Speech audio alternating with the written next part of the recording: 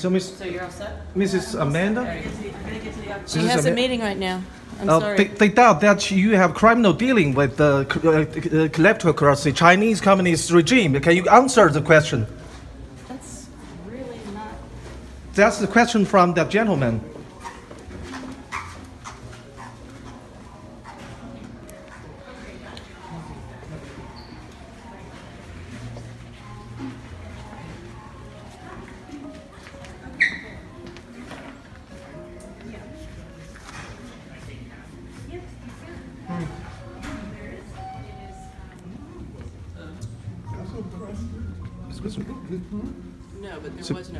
No question. That's the problem. Yeah.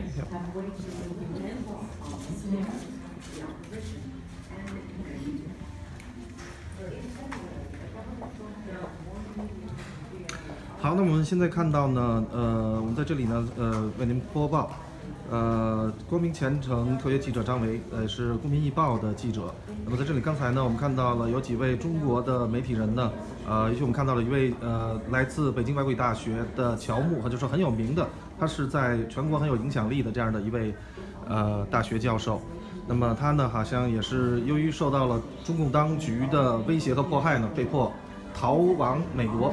那么刚才他呢，作为曾经在，呃，曾经在，呃，美国之音工作过的记者，那么他呢提出了他曾经被开除。那么好，Let me ask you a question. Uh, I'm, I'm a reporter from uh, the Bright Future online Chinese maybe, and I'm, I'm from the uh, Citizens Current online Chinese newspaper. And Yeah, I, sorry, I'm agree define with you. that. I, Okay. I find it's very good that you mentioned that uh, the family members of the Chinese yes. reporters of the Uyghurs, they they are now under very heavy persecution from the Chinese communist regime. Yeah. And how how could we do? c- Couldn't we appeal to uh, Donald, uh, President Donald Trump and to the American car- government and to all the We're already speaking to the State Department to try to get help. That's what I, I Yeah, hope. yeah, You- yeah. you- you should- we get we get it in. Um, will make real pressure and make real progress of Yes. releasing their family members in China who were forced to be put into the so-called re-education camp and be That's persecuted and detained there? Exactly. Yeah. So we, we have been trying to do that. And would like They to have ask. to go back in. Sorry. Thank you. Thanks. Uh, we'd like to help you as the Citizens Power Initiative for China. Thank you. 那么刚才看到了，那么这位是来自， 呃，他是一位主管，是一位来自呢自由亚洲电视台的主管。那么这位主管呢是刚才在刚才的这个，呃，好，Thank you，在刚才的呢这个，呃。呃，在在这个台上的这个演讲中呢，他和几位呃这个媒体方面的呢这样的主管呢一起呢作为嘉宾在台上呢一起有一个讨论。那么台下的观众在呃观看了之后有提问。那么他刚才提到了呢，就像我刚才问他的问题一样，那么是是不是就是因为他提到了在呃中国呢，由于中共暴政当局的迫害呢，他们把这个自由亚洲记者的一些呃这样汉这个讲汉语的这样华裔的记者，他们的家属，他们的年老年迈的父亲母亲和他们的哥哥姐姐，他们的兄弟姐妹呢，被关到了所谓的再教育营里进行迫害。那么我刚才呢，也向他提出了，我们作为公民日报和公民力量，我们很想帮助他们。我我我提出也要解决的一个问题，要为中国的同行们要鸣不平，要帮助他们要。呃，起码来说，要逃离这种被拘拘禁的这种局面，要让他们的家属，很无辜的家庭成员呢，要免于被暴政当局迫害，呃，被关到所谓的在学习集中营里。那么，其实这跟纳粹的迫害没有什么两样。那么，我们接下来呢会采访呃这位乔木教授。那么，乔木教授呢是很有名的意意见领袖。那么呢，在他呢刚才呢也提出了一个问题，呃，就是其实是在诘责呃 VOA 的负责人 Amanda Bennett 女士。那么就像我刚才诘责呃 Amanda 就是追着她质问一样，我刚才呢向她质问，呃，我跟乔木教授在沟通。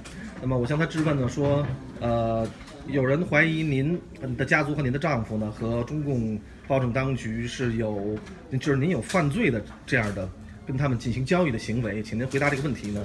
但是呢，他被，呃，首先是一位保安把我挡在了，呃，外面，就是让我呢不让我呃来向这个刚才这位 VOA 的主管提问题。那么呃，接接下来呢，又有一位女士，也是把我挡在电梯口，不让我向呃 Amanda Bennett 提问题，这个是也是很令我震惊的事情啊。那么实际上这是对新闻自由的严重的侵犯，因为我们今天的庆祝就是新闻自由日。那么在这里呢，我们想接下来呃采访一下乔乔这个 乔木教授，因为我刚才看到呢，您提出了对，就是因为 VOA 美国之音呢，它解除了您的雇佣合同，是这样的吧？嗯，我没跟他没有啊，跟他没有合同，就是说是他 contract，跟啊，对对就说就说您是他的 contractor，等于是您是他的呃接受他的合同公司合同派我到他那里工作，到他那里去工作，对。那么他会指使那个合同公司那个公司跟我解除，解除了合同，而且都不告诉你理由，没有原因因为我说的一些话他们不爱听。那么您能够呃大概的介绍一下，是因为您觉得是因为什么原因，VOA 呃它唆使或者说它威逼利诱第三方公司，呃总之是它通过第三方公司吧解除了呃您的合同，给您带来了经济损失而且这这个事情我不太想说，我对这个工作也不是很在乎，也不是很在乎合同也无所谓。但是我想这个很关键的是，主要就是我觉得很奇怪，就是美国人成天鼓吹新闻自由，但实际上又在侵犯新闻新闻自由，特别对中国对自己的记者，对于自己的工作人员，不光是个保护，反而找理由去去处罚，啊，这很奇怪。当然跟我没有关系，我又不知道他这个破工作。好，就从经从这个经济收入的角度讲，我您可能觉得这是无关紧要的我只是作为。工作者，一个从业者。是，但是他本身这个事情呢，是一个您认为是一个很严重侵犯新闻自由的，甚至于他就是一个，呃，来等于说是呃打着民主和新闻自由的旗号来损害新闻自由的这么一个事情。那么其实我想，我倒没有上升到那么大的高度，我只是讲我个人的故事。我就说你们不能一边说我只说美国之音，别的美国我没讲，我就说你这个机构不能一边是我说的也是 VOA。一边，然后你在干涉新闻自由，是在迫害记者？这个我觉得很不理解。好，您觉您能不能大简要的说一下，就是说他对您的这样的迫害，呃，主要是从哪几个方面进行的？解除合同，另外对您有没有一一些威胁的这样的表示意思表示？解除合同没关系啊，这个主要是说之前我在那里做 producer，是不是？在在给他们做一些外包的服务的时候，外包的服务，啊我并不是他的雇员，并非他的雇员我也没有以以他的名义从事过任何的言论的工作，没有以 VOA 的名义从事任何工作。仅仅因为我在网络上，不管在墙内还是墙外，稍微有点影响，然后引起了一些媒体的这个报道，然后他就他们的两个美国主管和一个中国主管多次干涉我，威胁我，跟我谈话，限制我的言论自由，而且是 VOA 的雇员，VOA 的 Service 主主管，VOA 里面的中国这个中文部的。中文部的主管。一，个叫 Ernie，一个叫 Gary，两个美国人，两个美国人。一，把手和二把手，一把手和二把手。他们的三把手季风是中国人，季风是一位华裔的，或者他持中国护照，中国人，上海来的，嗯，他们跟我谈话，嗯、限制我的这个言论自由，限制人的言论自由。而我这。个言论自由既不违法也不违道德，我只是讲讲我的一些感受，是不是？而且跟美国这个工作没有任何关系。那么您能不能呃介绍一下他他最严重的？您觉得他最因为我今天跟你无意碰上了，我也没想讲这个事情，对我个人来说不算什么，是不是？但是我想这对于整个我我我也不想讲，因为媒体因为其实您还是要讲的，因为这个广大的网友和支持民主自由，尤其支持支持新闻自由的这样的人们，是很希望了解，呃，有关的事情的事实，也很希望，呃，比如说，我想大家也很想知道，您认为就说这个美国之音的中文部的一二把手，包括三把手是一位华裔，他们对您最说过的最严重的，就您认为最不可接受的这样的威胁的话是什么？能举出几句来吗？一两句？因为他不是我的直接的老板，但是呢，他等于是让第三方公司嗯啊给我签合同，然后我再给他们干活。嗯，那么他肯定是相当于我管我嘛，给我发工资嘛，他们如果把工资发到那个公司再转给我，那这样的话，你说一些话他不爱听，他肯定会威胁你嘛。当然他说的很含蓄，那谁也不傻瓜能明白嘛，是不是？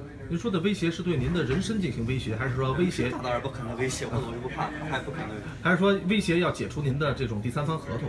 显然就是说你你不能再这样说，你第一你不要讲，第二你不能这样说，你如果说的话，那你要考虑到你这个合同嘛，不就是这个道理吗？哦，也就是说他对您进行了这样管制，就说您不许这样说。然后给我讲一堆规章制度，第一这个规章制度有没有跟我有什么关系啊？我又不是你的雇员呢，是不是？我不是你的抗议啊。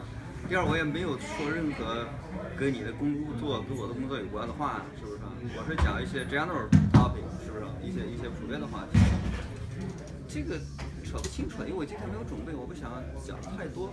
我们也是一个随机的讲采访两个事儿，就这是新闻嘛，随机性很重要讲两个。事儿。第一个事儿就是说，作为美国这一个主张新闻自由的，你去干涉一个公民的啊，不管我是中国公民还是外国公民的一个言论自由，这是让我总之是一个没法人的接受对，对吧是人的而且我这个言论自由我这个言论又跟你的业务没有任何关系。仅仅是你觉得我在那里好像我有我的影响，是不是把你让他不舒服了，他就来利用他掌握这个合同这个来来干涉我，这个是一个非常 ridiculous 非常荒谬的一个做法，是不是？这是第一个事我不理解。就像我们在我们大学，中国他经常地干涉我，实际上拿我没办法，我又不是说靠你吃饭了。是据我们所知，您您也是为了逃避这样对您的干涉和骚扰才到了美国。对这是另外一个算题。第二个就是说，我仅仅是因为转了一个实际这种骚扰就是迫害。嗯，第二个是就是说直接导致我这个事情合同解除的是，我仅仅因为转了一个共享下，就是被他们处罚这个记者的一个谴责。好，点到他们的痛处了，这是一个您觉得是？同情，嗯，我并没有对这个事加一些太过多的主观判断，只是就是您并没有通过这个事件来谴责 VOA。但是可能因为我有些影响，某种意义上，咱们现在一些自媒体的影响，可能比他美国人本身的影响还大。是这样所以他就有的时候点击量比美国之音点击量还要大第二天开会，第三天就直接通让那个公司通知我，contract is terminated，解除合同，这很搞笑嘛，是不是？嗯，所以我就对这两个是不理解。第一，你限制我一个跟你毫无关系一个人的言论自由，是不是啊？而且我的好多专栏，我的好，我本身也是个媒体人嘛，我也是个新闻评论，我有九个专栏，各大媒体在写，不断接受采访。他说你在这干，你就不能再接受采访，不能写专栏。可是我跟你又没有关系，我又不是你的政治抗议的，是吧？你给我发那点工资也不足够，不够不够我这个过上一个一个一个 happy life，是不是？你凭什么干涉我的言论？而且我讲的跟你美国人就他给您再高的工资，也不能够干涉您的基本的言论自由权利。这是第一个我不理解，第二个就是况且又是这个我因为转情况工资很低给你马上一个帖子，你就让公司解解除合同。你你转那帖子什么内容？那我们看到了，呃，这时候赵岩先生也呢，同时在进行采访我。的大概的意思就是，冯小乡不是教教区嘛，说新闻自由。我说这个东西其实也不见得是新闻自由。也比如说，在美国，在任何国家，就是说你可以反贪官，不能反皇帝。在美国也是，你可以骂总统，不能骂总管。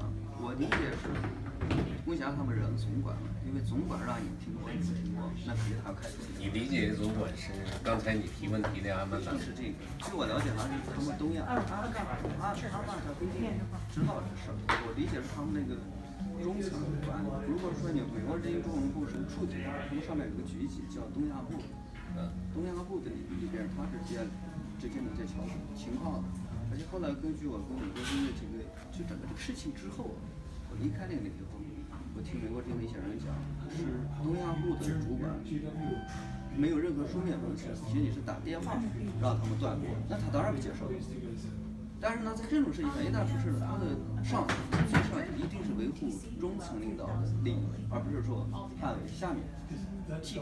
那就不是真相。他今天讲真相，所以他来说去真相，，他今天他没把真相告诉他今天跟我讲是一致的，他就跟我讲一致，他就是说，并不是受到中国官方的压力，他是这么讲的，那就是你们内部官方相互。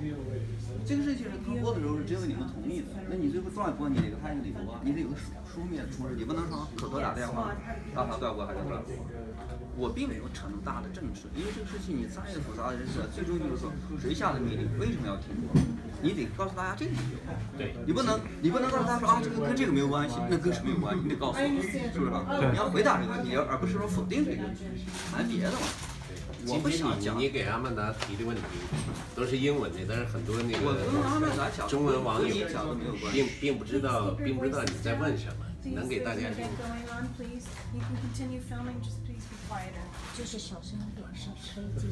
能给大家说一说那个中文内容是什么？我我大概讲的意思就是说，中国有句话叫做“夜不号”，就是说呃，有个叶公啊，表面上喜欢龙是吧？当龙真正来了以后呢，他又害怕逃走了。我说新闻自由也是，美国至少是美国之音，一方面在鼓吹新闻自由，但是新闻自由真正来的时候，它反而在破坏新闻自由。所以我用我两个月的这个经历，我就告诉他，在那里我发现他们有好多这个内部的一些潜规则啊，规定这个选题也不能做，那个人也不能请，这不就是破坏新闻自由吗？啊，然后呢，对我个人来说，我的一些言论，他们干涉我，两个美国主管，一个中国主管跟我谈话，骚扰我，不许我讲这个，不许接受采访，不许发表，你这不是干涉新闻自由？我跟你有什么关系？我又不是你的雇员。那么乔木教授，那么据您所知，或者他们有没有向您明示或者暗示，您说的这两位美国籍的主管和这位华裔的呃第三把手，呃，他们有没有受到来自中共政府方面的一些经济上的或者是其他方面的好处？这这我没有证据，这个我也不想承诺，这个我没有任何证据。就说您听说过这样的事情，或者说耳只是耳闻啊，没有证据，我没有听说，没有听说。我也不认为中共一定能影响他们，更多的就是他们自己有自我审查嘛，可能不想惹麻烦，或者说有是不是有别的考虑，那我就不了解了。我讲任何事都是 fact，讲我能感受到、我真切体会到的事实。这些传闻我不讲，我不是郭文贵啊，是不是？他讲什么都是新闻，我讲话要有靠谱啊。这个，所以我讲的第一个就是说，第一他在美国职业中文部里面内部本身的选题啊、请客人啊这些这些，我发现他是有一些规则在里面，或者叫潜规则在里面。这个我觉得很不理解。我们在中国经常会受到这样的干扰，我们为了逃避才出来。原来以为这是一个自由市场，它是一样的，有各种各样的新闻审查，是不是？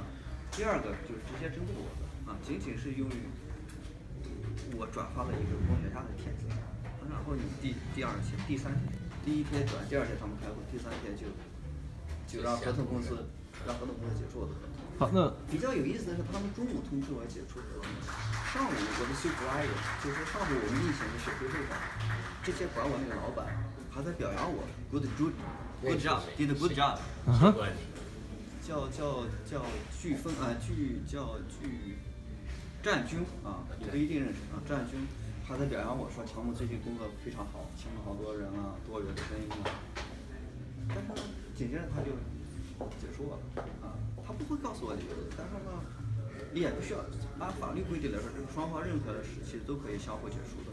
嗯，但事情结束以后，我又那么各个呃既然渠道我了解到，就是由于这个事儿，就是他们觉得我这转移，他们觉得我是个有影响的人，我是有影响的，别人可能小老虎头说一下无所谓，我是个有影响的人，不在墙里还是墙外。嗯，我的影响其实更多在英语世界，中文中文也没在，至少在墙外，我中文没有太大的影响。这个这个，所以他就不希望我在那里，这个去去去去说一些事儿。就是反过来又回到我的主题，又在侵犯新闻自由。那么乔木老师，既然呢，他们您觉得呃，美国之音 VOA 这个机构呢有侵犯新闻自由和对您进行这种，实际上这是一种迫害了，虽然没有那么人身侵害那么严重。您有没有考虑过向呃 VOA 的上级主管机关进行行政投诉，或者是通过法律的手段进行起诉，向法院来要求伸张正义？呃，这个里边就很复杂。我来美国不久，我有我自己的事儿，包括我的生活安置啊、事业拓展。我跟他这个东西从法律上来说是无可指责的，就是别人让你吃亏也罢，什么你没办法说，因为合同就这么约定的。我不是美国之音雇的，我是第三方公司雇的，而且这个第三方公司我合同里面说的很明白，双方任何事情都可以相互解决，不需要告知你。所以我去跟他打官司，也就是说，他们签的这个合同可能就是有相做好了这个随时以不合理的原因。在美国，所有的合同中都是这样，都是这样，没办法。那个被美国这边这个处罚这些记者曾经找过我说，我可以一起跟他们打官司。我说我个人想解决进去，因为我跟你们不一样，你是雇员，你有责任，我跟他们不是他的雇员，而且他们仍然在发工资，我又没有人给我发工资，我的合同一解除就没了。他们第一有工资，第二有社会募捐，是不是？我我打这个官司干嘛？打了半天。还耽误我的正事呢，我也不是说只好，也就是说，他们解除跟您的这个通过第三方公司的这个给他们做一一小部分工作的这样的合同，呃，一个是对您的经济损经济上的损失并不大，再有呢，就是也并不影响您在其他的途径，通过网络也好，还是通过其他的媒体也好，来表达您的自由的思想，是这样的吗？对啊，只是我觉得奇怪，对我又没什么影响。但但是呢，我在合适的机会，我会给这个美国官方，包括 BBC，包括美国国会，呃，我会用英语进行这个，我不是要投诉，至少把要投诉，是吧？因为您您您是这个在外国语大学的教授，所以我想您会一个人有一些有一些议员，为比较嘈杂，对，比较嘈杂，因为散会。做一个说明，但我并不想要什么结果。话说呢，你现在请我去，我不见得去。好的，乔木教授，谢谢。谢谢您。我也不是专门接受访等上了咱们的，因为有这个新闻敏感。好，我们随便聊。谢谢乔木教授。那非常感谢您跟我们随便聊聊。公民力量？公民力量和公民易报记者张维，也是光明之声的特约记者。呃，光明前程就是呃邱家军教授的这个网络的网络上的电视政治经济评论节目。谢谢您。好，我们看到呢，现在呢这个会议呢叫 World Press Freedom，就是世界新闻自由日，二零一八年在美国华盛顿 D.C. 首都啊，这个已经散会了。那么很遗憾呢，就是在这里，呃，这位记者赵岩先生和呃乔木先生，乔木老师呢是北京外国语大学的教授，呃，他是来到美国，可能也是因为躲避当局对他的各种的管制和骚扰。那么，呃，尤其是赵岩先生刚才在提问中呢是被打断，他没有提完问题呢就被打断。那么刚才呢，呃，包括乔木教授，那么也是，那她是一个这位女士，她是一个那个只是拿话筒的嘛？我想操纵话筒声音是关还是那个好像并不是，是是她也要听那个来支支配他不敢支配他的人呢，这个就是很遗憾的。我们这里呢，呃，看到了似乎在世界新闻自由日，这里面好像是有很多的，呃，与新闻自由背道而驰的东西，就在这个会场上得以展示。我们也是很遗憾的事情。那么赵岩先生，能不能您能不能刚才呃说一下，就是，呃，因为我刚才坐在您身边呢，看到您提这个问题没有提完就被打断了，不是被打的，他们直接把话筒抢走了，直接把话筒抢走。抢了三次。因为您是想问那个美国之音的美国之音的主管，男男的我肯定不会让，而且但是这个女后来你出去了吧？太不后来你出去以后，下面的一些提问阶段，他很有意思，他都不给客人话，直接他拿着，嗯他拿着，然后直接他拿了不给话随时撤。是吧？你还关注他这个，我还没。我觉得这也是跟新闻自由背道而驰的。他应该允许人们发表各种的提问，对吧？而且像刚才您提问的时候呢，他也是尽量的，那个主持人也好像也要尽量的打断您。那位金发的那个嗯女士主持人，好像也尽量的想打断您。那么我在后面跟您说，您要提问，您问他，您有这是您问他一个问题是您的权利，所以您他是 VOA 的 contributor，他是 VOA 的请客人，他当然要护住 VOA 呀，是不是？嗯你的那个女的是 VOA 的供稿者，啊，我们等会你问问那个女孩我不想跟他们吵架，我也不想和。不想跟他们吵架他。在我的眼里根本什么都不是，他在美国主流社会没什么影响。我是当时来，刚来。呃，但是任何人都都要遵守美国的宪法和法律，都不能够侵害新闻自由，也更也更应该表现出他们的礼貌和文明的这样的举止。B B G 的？你怎么能把我麦克风抢住？时间限制也不是那么事，新闻自由嘛。而且他的问题没有提完呢，因为有一个翻翻译的环节，所以他的领导没有提完觉得你领导尴尬，对吧？啊，真的是你，你新闻自由日，而且你别为难而且而且那个那个。好好。就像就像就像我那合同公司对我非常的抱歉，给我再三抱歉，但他不解释，再三抱歉说乔木先生对不起对不起，我们的合同必须要解除。那我就不需要问他了，因为他是等于是美国人也给他九万，他扣三万才给我六万，给一年就这样，啊，就这么简单的合同。啊，啊，我的我的那个大量的雇员可能，所以你你跟他在领他干嘛呀？什么？好，今天的播报都到这里。啊、是公民力量和公民易报的记者张伟，也是光明前程的特约记者，在这里为各位网友进行播报。我们希望新闻自由能够得以真正的实施。谢谢大家。